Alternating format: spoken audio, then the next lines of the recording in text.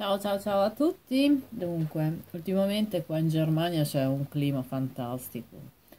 Proprio ehm, c'è il cielo grigio tutti i santi giorni che aiuta la depressione a peggiorare, infatti. Eh, sono già inguaiata.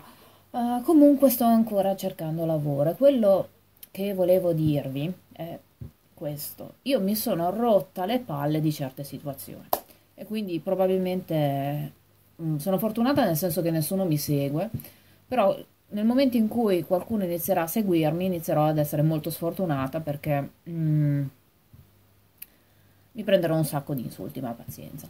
Uh, io son, mi sono rotti i coglioni che le persone continuino a pensare che la Germania sia un paradiso, ma anche persone che ci sono vissute qui un anno. Io ho conosciuto una signora uh, che ha vissuto qua un anno, perfettamente convinta che l'agenzia del lavoro fosse il paradiso, ti avrebbe aiutato con tutto. E io di- continuavo a dire: no, non è così, lo dicono i media italiani, ma non è così. L'agenzia del lavoro è una merda totale, bisogna dirlo, bisogna dirlo proprio tranquillamente, bisogna dirlo facendo un respiro proprio om, è una merda perché ha cercato di fregarmi. Ehm, io dovevo fare il riconoscimento degli studi, non me l'hanno detto, quindi smettiamola di pensare che la Germania è il paradiso, sia il paradiso. Adesso sbaglio i congiuntivi, quindi mi, mi, fanno, mi tagliano la gola adesso.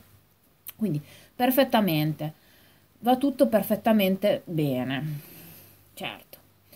Ehm, non è così e smettiamola eh, di dire tutta colpa tua Alessandra, no, perché io ho studiato fino al livello C1 il tedesco, non è che sono imbecille, continuo a studiarlo. Mm, quando mm, non, non ho i soldi da una parte li prendo dall'altra e continuo ad andare avanti. E ho cercato anche di fare mille lavoretti per cercare di andare avanti, non è che sono proprio un idiota, infatti anche con quello dell'agenzia del lavoro mi sono arrabbiata e gliel'ho proprio detto guardi che io non sono imbecille. E non gliel'ho mandata a dire proprio io le dico le cose e boom.